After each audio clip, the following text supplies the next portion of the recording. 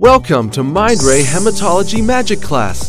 Using our hands, let's make wonders. Mankind is forever curious about itself, a mysterious world. In the pursuit of better health, many tools helped us to explore our amazing physical body. With the magnifier, small things became apparent to us. With the microscope, we saw cells.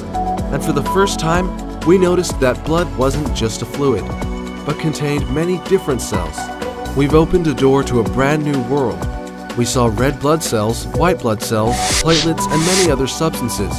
Then we discovered surprising links between them and many diseases, such as bacteria infection, malaria, cancer, and AIDS. So we got very interested in these blood cells.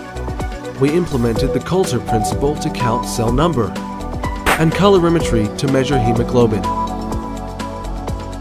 We successfully grouped white blood cells into five parts, the lymphocyte, monocyte, neutrophil, eosinophil, and basophil. Let me show you how Mindray achieves this task. Let's take this blood out of its tube.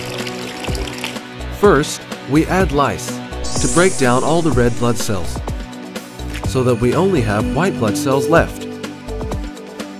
These are fluorescent materials. I sprinkle them onto the cells so they stick to each other. Now I use a high-energy laser beam to strike through the cells. The laser beam scatters the cells at different angles and gives us different information.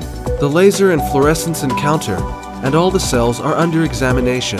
Then we put them into a magic cube according to their size, complexity, and fluorescent intensity. Yes, they are positioned accurately according to the space where their kind belongs. You can see them from the front, side, up, and down.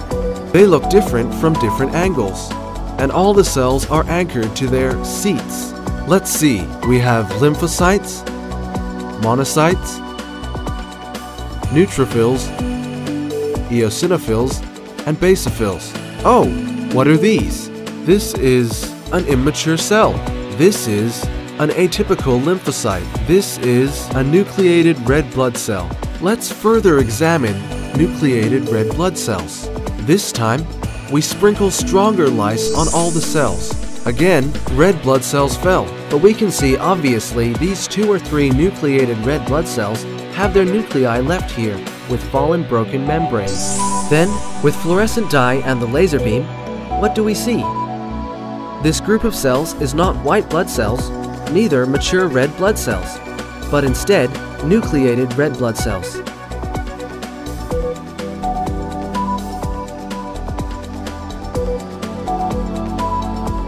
Let's go back and take a look at red blood cells. Firstly, we sphericize all red blood cells.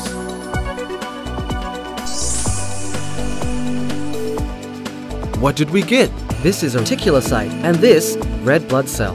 Reticulocytes show different fluorescent intensity according to their maturity because they contain different amounts of nucleic acids. Let's see these magic cubes again. Through laser scatter and fluorescent dye, cells are anchored at specific positions. This provides us with much information needed for blood cell examination. And this is our SF Cube technology.